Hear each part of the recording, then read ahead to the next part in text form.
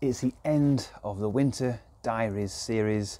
Winter is behind us, spring is here, so it's time to evaluate how winter's gone, look at how all the plants have survived the winter, and think ahead for spring. So join me as we have a look around the garden. Here's a great sign of spring. This is the Gunnera cryptica unfurling its first leaves of the year, and you can see the flower cone down there as well.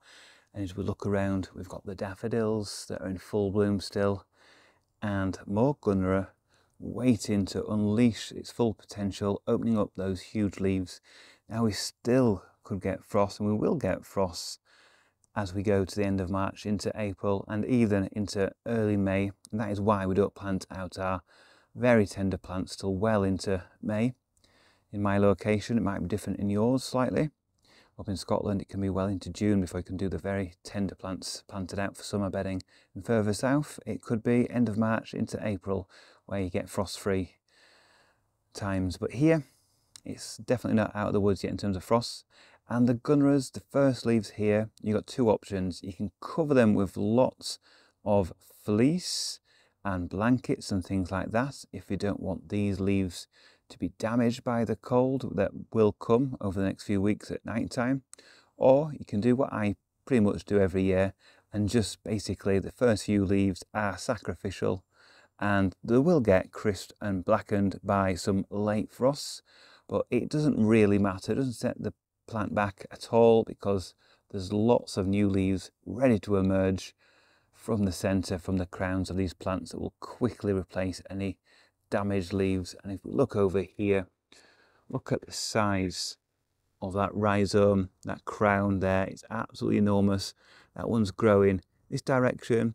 And we've got several other, and if I wish, now I could actually divide these plants and have several of them. But obviously, because of the new sort of uh, laws that have come into place, I shan't be doing that because we've got to keep these and not propagate these because they're being classed as invasive species in the UK and Europe. But that's another story which I've covered in different videos. So let's look for other signs of spring. Here's another sign of spring. We've got these strange pinkish protrusions coming out of the ground here. Some look a bit mushy, but overall we've got some decent life in these things and I'll tell you what these are. These are colocasias, these are colocasia pink china and they're all over this area.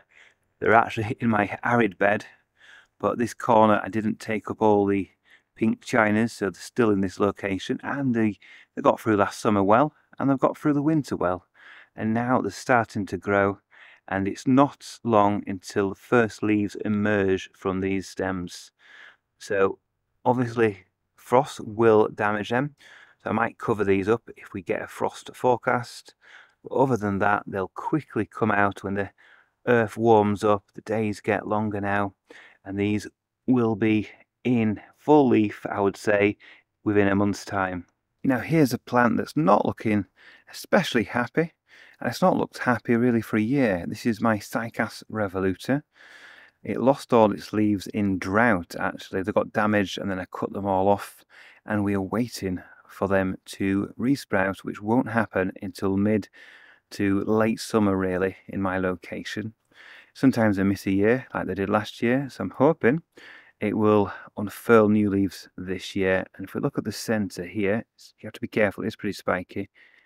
But it's not got any ooze or anything like that. That is still firm and I believe alive. And it's got through the winter unharmed.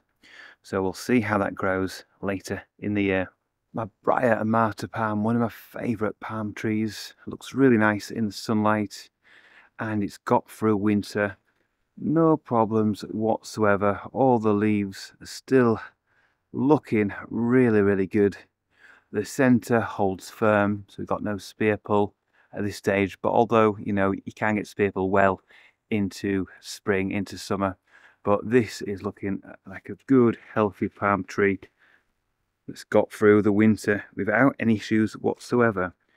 And I've still got my shelters on the arid bed here so we just pan round quite roughly there and look through underneath, we can see we've got my yuccas, yucca montanas are looking really good overall. The lowest leaves have some winter damage, but it's nowhere near the centre, so that's looking good. My Agave Americana, it's pushing already, trying to grow against the top. But we have got spotting over the leaves and the lower leaves will probably die off pretty quickly. But that looks like it's got through the winter pretty much okay. There's no black in the centre there, so that's fine. Dasylirion, that's looking good. My yuccas in the ground are also looking good, so they have got through the winter, no issues. Not everything has. We've mentioned on other videos how some of the plants haven't fared so well. So we've got down here with the early weeds growing, we've got a little agave that's not really happy there. We've got a cacti here that is totally fine. Another agave needs weeding over there. And this agave bracteosa, completely unfazed by winter. So great little agave to try in cool locations. Over there, we've got a agave. It's not looking 100% healthy. That's lemon and lime, which is a type of Americana. But I think that's going to pull through and be fine. So, a bit of a mixed bag with the arid plants. Overall, the big established plants I've got through totally fine. But the smaller agaves, more tender plants that I've just planted last summer haven't fared as well. But overall, this part of the garden is still looking good and got through winter pretty much unscathed. You can tell the temperatures are warming up now because we've got Persicaria, red Dragon looking fabulous, already produced a nice head of leaves here. Yes, they hate any cold when in growth like this, so some late frost will blacken the foliage, but it'll quickly resprout from the base. And this plant grows so quickly, propagates immensely from any small cutting, piece of root, anything basically. In fact, you can see little stems that have fallen over have produced new plants over there. So it's a very easy plant to propagate. Once you've got it in your garden, you'll always be able to keep it. You can divide it and you can keep it contained pretty well as well. It doesn't spread very easily in terms of sending out lots of runners. Very easy to keep in check, but it's a great sign that spring's really here, winter's behind us, and we can look forward to the growing season ahead. Now let's look at the tree ferns because it's getting to that time of year where we can start looking under the protection if we put that in the crown and see if the knuckles are looking good. So I use straw as protection You See the older leaves have got quite a lot of winter damage. But in the centre, if we remove the straw, we should see new leaves unfurling or the knuckles at least green in there. So make a bit of a noise. And there we go. Let's get in there. I'll show you that. See that? That is the first leaf unfurling already. I put my hand in there. Everything feels nice and firm. So lots of growth ready to explode out of the centre. We want to hold that back a little bit because again, like the Persicaria, any frost will quickly damage those emerging leaves. So we don't want it to grow too quickly, but there's not too much we can do. If it warms up, the will unfurl, but I'm just going to put the straw gently over the top like that just to protect it from any further frost we may may have. But once the leaves start unfurling, there's little you can do to protect it from those late frosts. But there'll always be plenty of leaves that come through in spring there. That's one of the tree ferns. We've got others as well. And I'll go around checking on those and I'm sure we'll find the same unfurling leaves, nice green knuckles.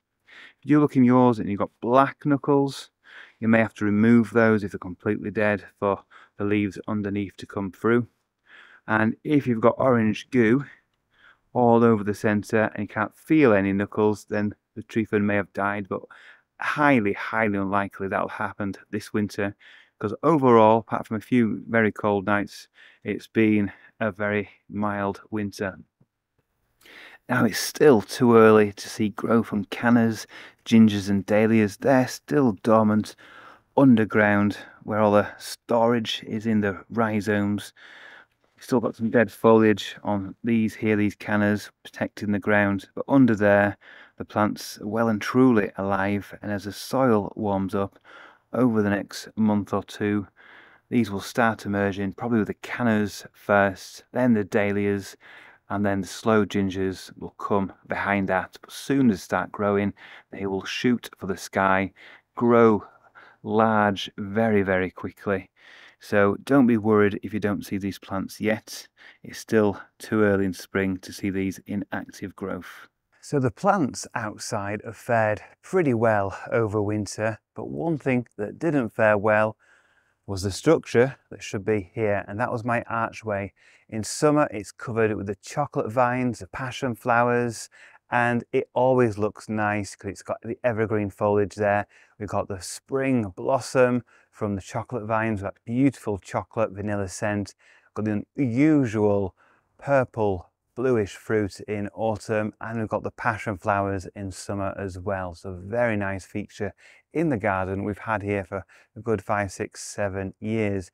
But the winter storms meant that it fell over. It was completely rotten at the base and it had to be removed so last weekend I set about actually removing the structure and it was a bit harder than I thought because there was so many vines, I had to cut through every single one, so many stems on both sides of it, and it was pretty heavy as well. So I did my best of breaking up the structure and taking it away, well, to the back or the front of the garden, which has left this open space. If I move out of the way now, what you're left with is a new view, and that view is of my Jubaea chilensis palm tree.